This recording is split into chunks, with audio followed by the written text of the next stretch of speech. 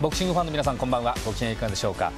世界のビッグファイトをよりすぐってお送りしています。ワウワウエキサイトマッチの時間です。今日もリング上で展開されます。筋書きのないドラマ。最後までたっぷりとお楽しみください。それではスタジオメンバーご紹介してまいりましょう。いつものお二方。まずはおなじみのジョー小泉さんです、まあ、よろしくおよろしく願いしますお願いします。試合中ですね。打ち合いになってきた時にどっちのペースなのかこう判断する材料というのはどの辺をジョーさん見て判断するわけですか？まずですね、有効なクリーンヒットをより多く当ててる方がまあ打ち勝ってるわけですね。はいはいだから一般的にはですね、その打ち合いで相手をそのえーっと交代させる方、前出てる方が大概の場合は優勢ですよ。えええところがですね、じっくり見るとですね、その下がりながらもインサイドからパンチを当ててる場合があるんですね。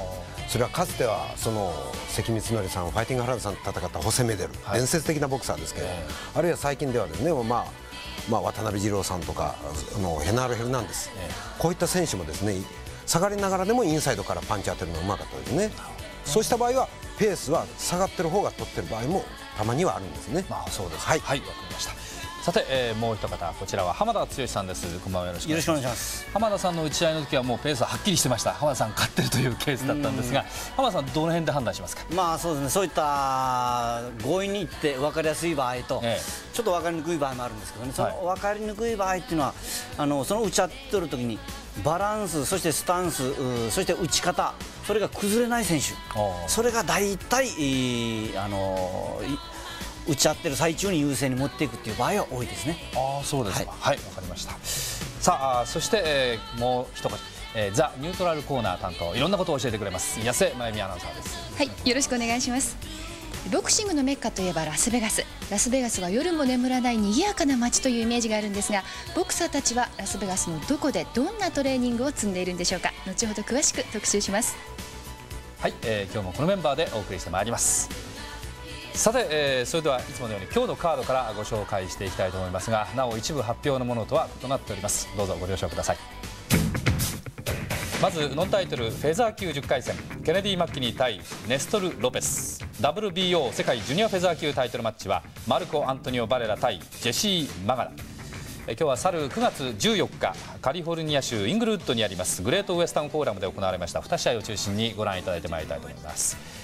さあまず最初の試合ですがジュニアフェザー級で王座返り咲きを狙っているケネディ・マッキニーが登場します。これノンタイトル戦10回戦です、えーソウルオリンピックからもう8年が過ぎたわけですがあの大会でアメリカ人は3つの金メダルを取りました。そのうちの1つを取った選手マッキニーのプロフィールからそれでは早速紹介してもらいましょう。お願いします。はい、アメリカテネシー州のメンフィス出身の30歳ですね、はいえー戦績がですね32戦29勝 17KO 2敗1引き分けです、えーまあ、スピードパワーのあるそのボクサーファイターですね。92年ウェルカムネスタに11ラウンド逆転 KO 勝ちして IBF の世界ジュニアフェザー級タイトルを獲得しました。ところがですね、えーっと94年8月ブヤニ文具にその判定負けで IBF タイトルを失いましたね。その後、えー今年の2月マルコ・アントニオ・バレラの持つ WBO のジュニアフェザー級タイトルに挑戦したんですけどこの時は倒し倒されその、えー試合展開も一進一退だったんですけれど12回最終ラウンド TKO 負けしてこれタイトル奪回なりませんでした。現在はですね、えーっとジョン・レウスに12ラウンドその判定勝ちして悔いの全米ジュニアフェザー級タイトルを獲得して全米チャンピオンですね、はい。だから長身でそのボクシングもできてたんですけど最近はもうファイター化してますね。それで非常に手数を多くして打ち合いを好みますね。はい。はい。えーこの番組が始まりましたのは90年の12月なんですが浜田さん、はい。その時からずっと現役を続けているボクサーって本当に数少なくなりましたけども、そうこの末期にそうなんですよね。その一人ですよね、えーそれからするとやっぱり、えーこの5年以上も続いてたっていうのはやっぱり安定したボクシングですよね。そしてパンチがやっぱり速かったですね、えまあですけどタイトル取られて、まあ、タタイトル取られた時の試合よりも、はい。この間のバレラにノッカ負けした試合は大きかったですね。そう。この負けは大きかったですね。さて、えー今日はそのマッキニーがですね、えー世界タイトル再挑戦へ向けての前哨戦ということになりますね、えー対戦相手はメキシコのネストル・ロペスです。こちらも紹介してもらいましょう。はいあのピザの香辛料にタバスコってありますけれど メキシコのタバスコ出身ですね、えー、と年齢は24歳です、はい。戦績がですね20戦16勝16勝のうち 14KO してるんですね。1敗2引き分け1無判定。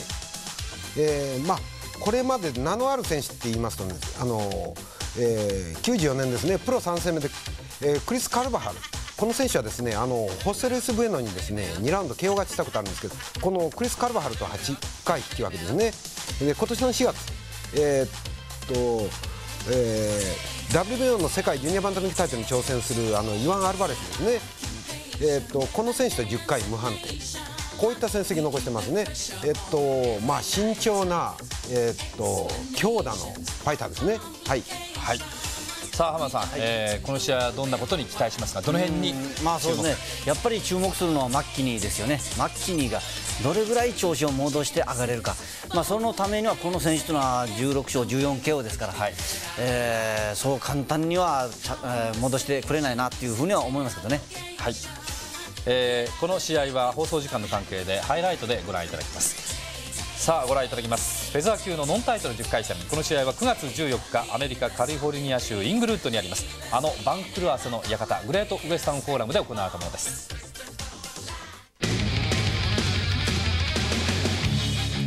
ノンタイトルフェザー級10回戦。ネストル・ロペス対ケネディ・マッキニーの一戦です「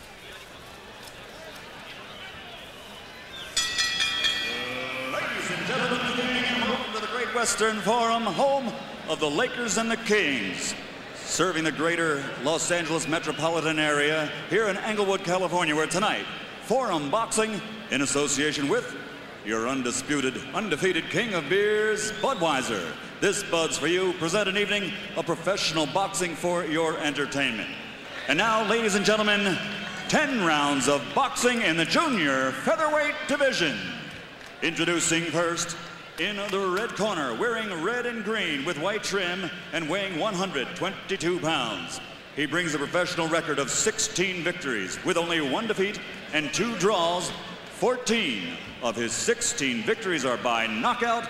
Ladies and gentlemen, from Merida, Mexico, here is Nestor Chino Lopez.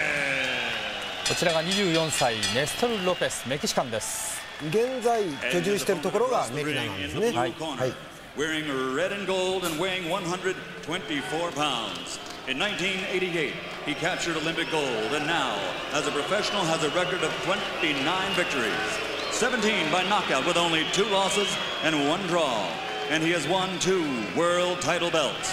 Ladies and gentlemen, from Memphis, Tennessee, presenting the two-time junior featherweight champion of the world, Kennedy King McKinney. こちらは30歳ケネディ・マッキニーアメリカ・テネシー州メンフィスの出身ですだからマッキニーが負けた2敗っていうのはですね、えー、ブヤニー文具、はい、そしてマルコ・アントニオ・バレラ、うん、2人とも現在のチャンピオンですよ、ね、そうですね。それ以外には負けてないんですからね、えー、なおこの試合先ほどマイケル・バッカーはジュニアフェザーウェイトと言っていましたが2人の体重がノンタイトルでもあります。122パウンドと126パウンド、えー、ちょっと出てるわけですよね、うん、まあ厳密に言いますとですね片方のウェイトがそのえー、っとそのクラスより出てたらですねその重い方のクラスの試合になるんですよね。ですから私たちはまあフェザーノンタイトルのフェザー級の試合だと、はい、厳密に言えばそうなります、えー、こういう表現を使いたいと思います、はい、さあ第1ラウンド試合開始です。ご覧のように、トランクスが分かれております。マックニーが黄色のラインに入っています。ひらひらがついていますケネディ・マッキニーのが長身でありまして171センチ今背中を見せています。そして今右側になりました選手。こちらが165センチのメキシカンネストル・ロペス。リーチの差は2人は10センチあります。元 IBF のジュニアフェザー級のチャンピオン。88年のソウルオリンピック金メダリスト。3人のうちの1人です。アメリカが取った3人のうちの1人です。えー、あと2人はと言いますと小泉さんアンドリュー・メイナードと。レイ・マーサーですよね、レイ・マーサーはまだ戦い続けてますからね。そうですよね。迎えて打ちました。ケネディ・マッキーですまあそういう意味では浜田さん、はい、えー、金メダリストっていうのはずっと一生ついて回るもんですねこうやって考えますとね。それは消えないですからね、えー、ですからそういったまあほんあのー、主になる選手もいれば、はいはい、やっぱり一つの宣伝になる選手が多いですよね、えー、そのままねそのプレッシャーさえ跳ねのけたら素質は持ってる選手ですからグッとなりますよね、はい、選手もいます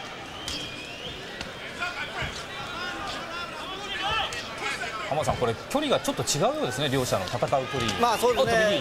マッキニはちょうど左のジャブが伸びて当たる距離が一番いいんですね。そのあとロペスの方が距離縮められると結構この強烈のパンチですから、ええ、面白いなと思いますけどね。あまりエキサイトマッチではその相対的に距離がどうのこうの違うとはそういう表現は使わなくて、まあ、戦う距離がそれぞれ、ね、変わるわけですから。そういうことです、ね、ないんですけども、これだけやっぱりリーチとか身長が違いますと、えー、ますね、はい、単純に考えてやっぱりありますよね。ありますよ。それとマッキニーのパンチは上背よりももっと伸びますからね。はいはい。距離がだいぶ置かれています。なかなか入っていけないような感じのロペス。あーっと突き上げながら入っていましたこれが20戦目です。ネストル・ロペス。強打を持っていると聞きます。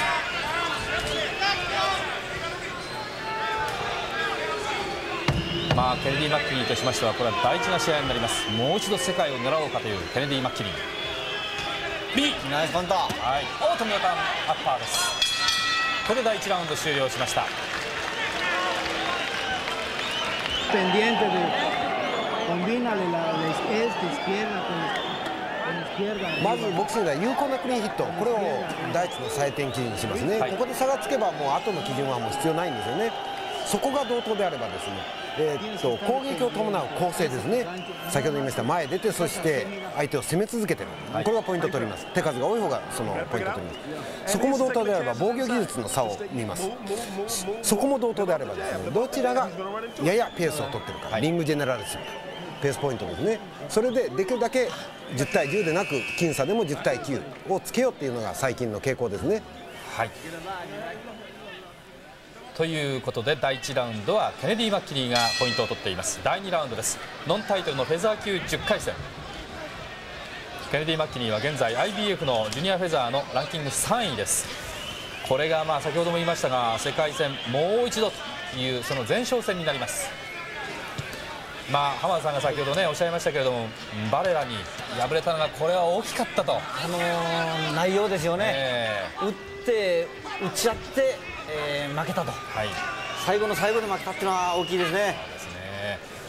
えー、まあ、タイトル取られた試合、文具の試合あたりだってですね、捕まえきれたらというのがあったわけですよ、はい、お力が出せなかったというのがあるんですけど、おバレラには持ち味全部出して、えー、最後負けたっていうんで、ショックも大きいと思いますよ。まあ、野球で言えばですね、14対13とかですね徹底的な打撃戦の末最後力尽きて負けたと。こういう負けはショックは大きいですよね、えー、がっくりきますね。ね。親勝てるところまでいった頑張りに頑張ったところがラストラウンドで負けたそういう感じだったですね。なんとか入り込もうという小柄なネストル・ロペス24歳まあいいストレートマッキーが入りましたけどちょっと軽いですね。あそうですか。はい、はい。ハーリング。グローブを届かせません。マッキニーの左は割と簡単に相手に届きます。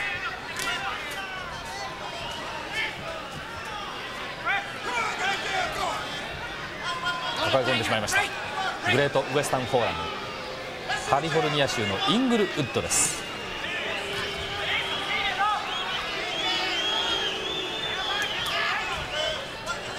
ですからカリフォルニアですからメキシカンのロペスとしましては割と来やすいでしょうね。そうですね、えー、あのメキシカンのファンが多いですからね。そうですね。おそらくこの試合もおっと先ほどからちょっと声援が飛んでるようです。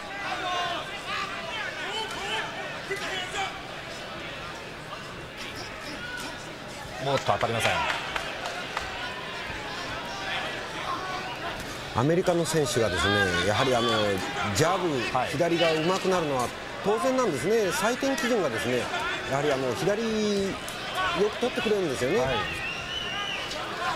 逆にですねそのジャブをあまりその採点上取らないような国では、はい、やはりあの連打コンビネーションで持っていきますね、構成を取ろうと。はいまあ、その辺の採点基準がボクサーのスタイルに及ぼす影響っていうのがありますね。おっと右を出しました。頭がぶつかった。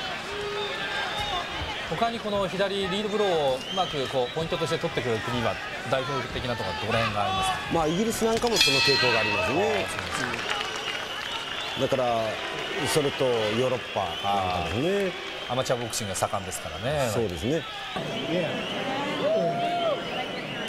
小泉さん時計の間に挟んであるのはこれ何なんですか？あれはですね、あの止血用のですね、そのペーパーか、えー、っと、えー、脱脂綿ですね、あ、脱脂綿っていうかガーゼですね。使いやすいようにあそこに入れてるっていう感じなんですかね。はい、ああいう小型のガーゼっていうのは、あの血を止めるときに使いやすいんですね。はい、さあ第3ラウンドになりますレッドとゴールドがマッキニー赤と黄色黄色にもちょっと見づらあ見えますか黄色っぽい色なんですけれどもひらひらがついた方がマッキリンちょっと注意されました。レフリーはマーティン・ディンキン。頭を抱えるなと、はい、巻き込むなということですね。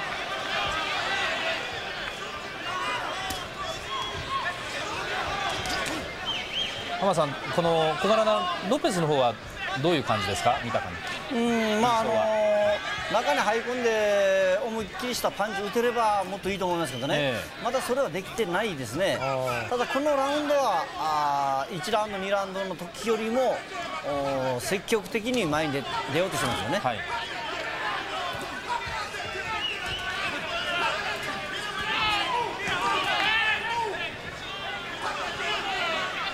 見た感じ、あの小泉さん、マッキーとは一回り違うような感じですが、ロペスはどちらかというと、下から上がってきたようなところがあるんです。そうですね、だからまあ、あの体格差はあるんですけどね。えー、この日のウエイトも122パウンドがロペス、一方2パウンド重いのがマッキニーの方です。えー、キャリアを見ますとあのジュニアバンタム級の全えー、チャンピオンホセ・ルイス・ブエノに先ほどね、はい。えー、勝ったことのあるあのクリス・カルバハル、ね、のっていうわけですから、まあ、ジュニアバンタムのウエイト界で戦ってまあ、ところが最近は、えー、っと上がってきますね。そうですか。だからまあバンタムでやってたんですけれど最近この重い一クラス上のウエイトでもやってますね。なるほど。ミーナッパーでカウンター。それほどいい威力は見せませんでした。1分を切っています。第3ラウンド。ミノストレート。打ち下ろしましただんだんマッキニーらしさが出始めましたか。ベテラン30歳ケネディ・マッキニ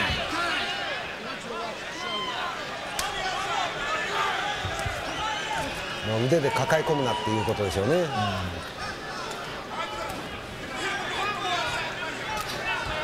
ミノストレート左を返しました。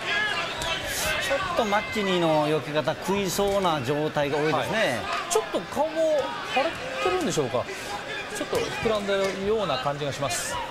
パンチはそう避けるときにバランスちょっと良くないですね。マッキニーが。はい。長身がマッキニーです。ニラッパ入ってません。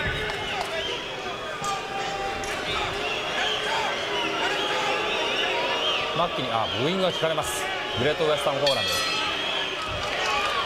ドお互いクリーンヒットがもう一つないんでですね、えー、手は出し合ってる割にはそうですねだからあのネストロ・ロペスのパンチっていうのはちょっと届きませんし、えー、でマッキにはですねジャブついてるんですけどこのラウンドはちょっと的中率が悪かったですね。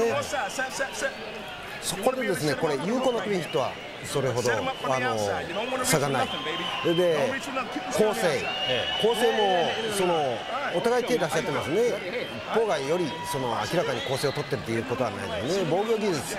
これはまあお互いそのパンチ外し合ってでまあペースっていうことになるとまあマッキンの方がペースを取ってるという感じがしますね。はい。振り分けて10対9今浜田さん頭の中カ頭の中ですね。脱脂面がちょっと赤くなってますね。頭の中切ったですね。バッティングかなんかあったんでしょう。うん頭の中というとおそらくそうでしょうね。ノンタイトルフェザー級10回戦。この試合はハイライトでお送りしています。さあ続きまして8ラウンドご覧いただきましょう小泉さんここまでの試合経過なんですけれども大雑把に言ってどういう感じだったでしょうか？まああのマッキニーがですねそのジャブワンツーでボクシングしようとして一方この、えー、ネストロペスのパンチがですねたまにクリヒットするんですね、はい。だからそのポイントややその分け合ってる面がありますね。中盤はですね。出だしはケネディ・マッキニーがこちらの放送席の採点では取っておりました前に出てきますああロペス。8ラウンドの映像です。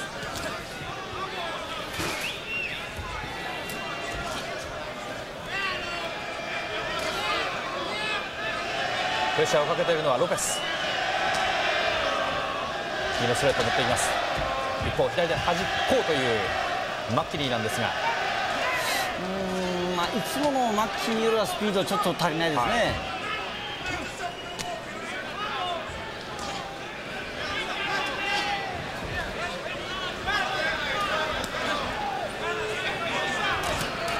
館内のざわめきも大きくなってきています。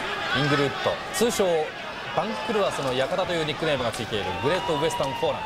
右インサイドから打ちました。右は先ほどからちょっと当たっています。ネストル・ロペス。まあ一時期はですねウンベルト・ゴンサレスがですねローランド・パスカに負けたりですねいろいろそのバンクロス続いて、えっと、ハース・オブ・アップセットでバンクロスの館っていう名前があったんですけど最近それがちょっとないんでこのえっとどういうんですか？キャッチフレーズが薄らいできましたね。私も久しぶりに言ったような気がします、ね。はい。思い出したように言ってみましたが。果たしてこの試合はどうでしょうか？まあそのバンクラーセあるいは順当そういう言葉を使うなら、えー浜田さんこれはマッキニーが前哨戦として軽く勝っていかなければいけない、まあそういう見方がねことです体制ですね。まさにじ実力差から言うとマッキーの左一本であしらえるぐらいじゃないとですね、ええおっとちょっとおかしなバランスになります。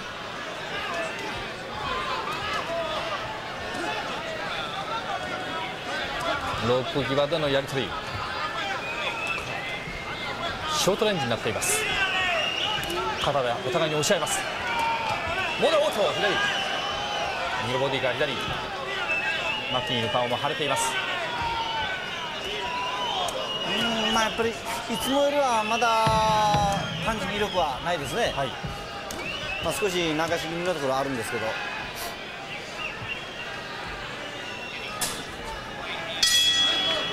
第8ラウンド終了しました。いやーまたブーイングです。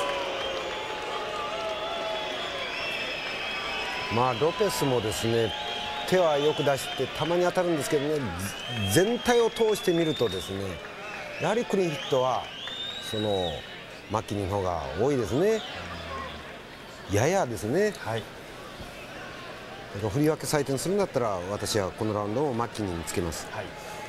浜田さん、序盤立ち上がりはまあマッキニーペースだったとは思うんですけども、はい。今ご覧いただいた8ラウンドはどういう印象を受けました、うんまあ、私も同じえー感想なんですけど、ね、そんなに大きな違いははい。ないですか、ないですけどただマッキニのいつもの、まあ、これぐらいパンチえー当たればですね、はいえーもっと相手がぐらつくような場面あると思いますけどね。パンチがちょっと軽いですね、ああなるほどね、はい、軽いということはこれ小泉さんどういうことなんですか？パンチが軽い。結局ですねその相手に当たってですねその打撃しますね、えそれで結局相手に接触してから打ち込まないと効かないわけですよね。あその当たりが弱いということですね。ーおっと。だから力力込めて打ってないということですよ。あるいは手だけで。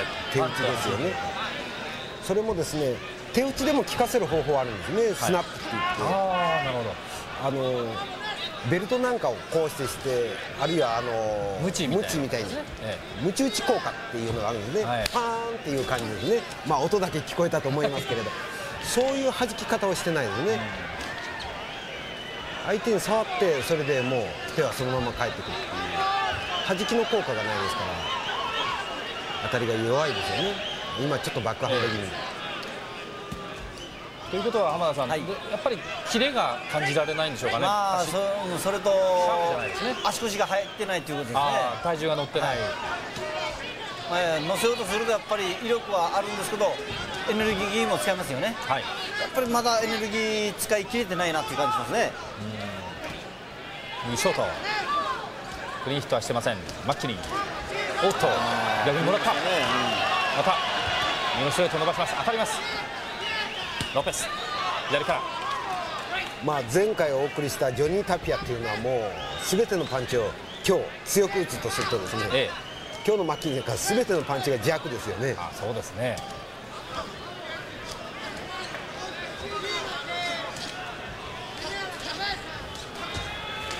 ジョニー・タピア、まあ、先週は WBC のチャンピオンの川島選手をお迎えしてお送りしたんですけれども、まあ、各団体見ましても、まあ、クラスによっても違いますけれどもいろいろな選手がいます。その選手によっても今日のマッキニーのようにいつもとはちょっと違うなという出来栄えを見せる時もあります。うまいんですけどね。え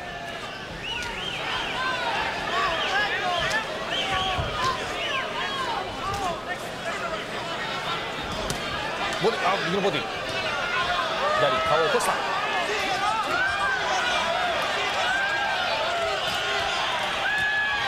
左側を取りいい攻撃です。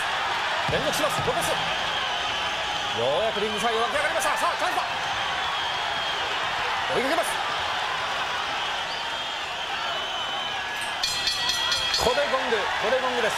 第9ラウンド終了しました。じゃあこのラウンド皆さんと一緒にちょっと採点してみましょう、えーと相手に与えたダメージですね。有効なクリーンとどっちが多かったか。え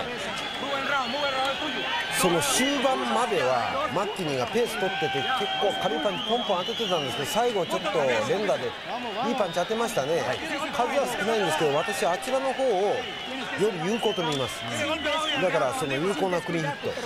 有効度っていうことで私はこのラウンドはあのロペスに振ります。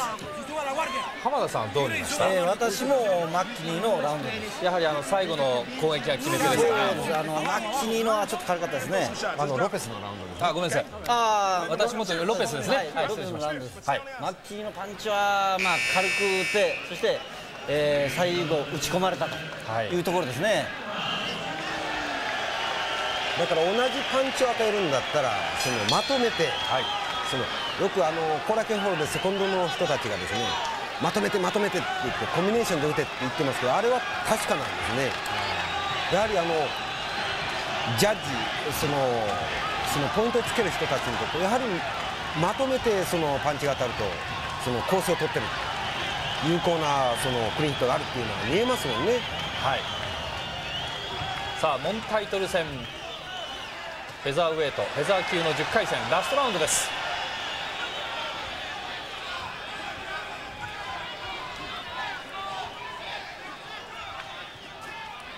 ワンツー右のストレートまっすぐ打ちました。マッキニーちょっとバックハンド気味か。メマッキニ。ー足を使いますマッキニ。ー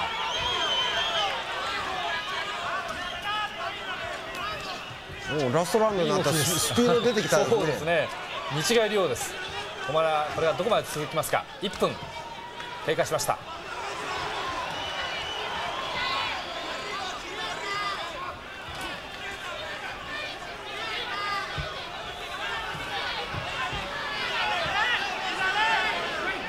ボディ打ちます。両者を分けます。レフリー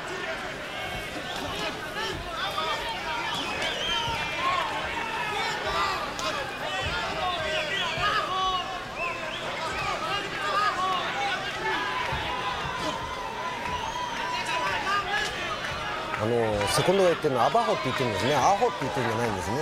アバホっていうのはですね、はい。下へって下を打てっていう意味なんですね。でアリバっていうのは上っていうんですけど上を打てって言うんですけどアバホアバホですね。もうあのセコンドはよく言いますね。下打て下打て。ただラストラウンド下打つことがですね有効かどうかでね。ただし下打つと上へパンチが返るような選手は下から攻めるっていうのはいいことなんですけどね1分を切っています。ラストラウンド。メキシカンのネストル・ロペス。マッキニーを追い詰めようという感じで最後のラウンド懸命に追いかけます。一方マッキニーも動きが良くなってきてもっと押してしまいました。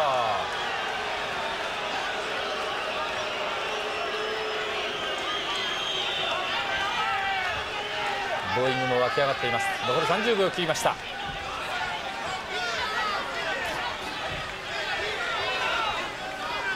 まあもちろんこのロペスにとってこのマッキニーというのは格上なんですけどね、ええあの懸命によく手を出してますよね。それとマッキニーのパンチが今日効かないですから自信持って出ていってますね。ああ最後はちょっと後ろを見せるような格好になりました。大きく距離を取ったマッキニーですがここでゴングです試合終了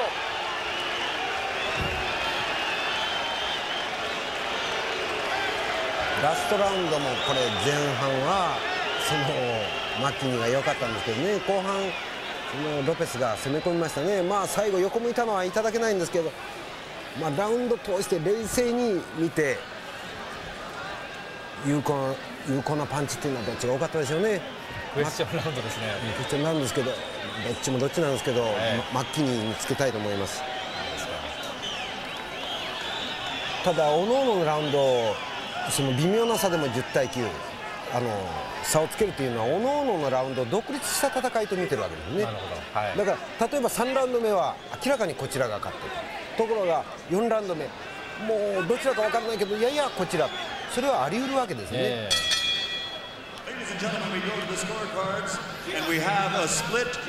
decision. 2対1ですね。割れたんですね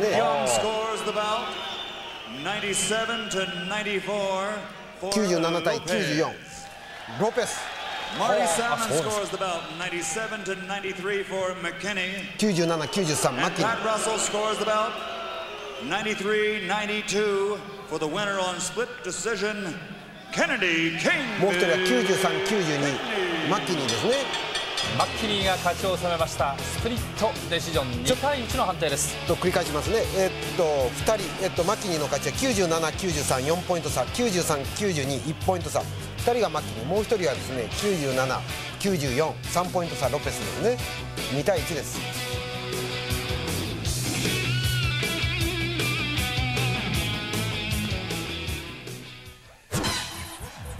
えー試合は判定だったんですけれども採点が割れました。2対1でケネディ・マッキニーの勝ちとコールされたんですが浜田さん、これ割れ方が妙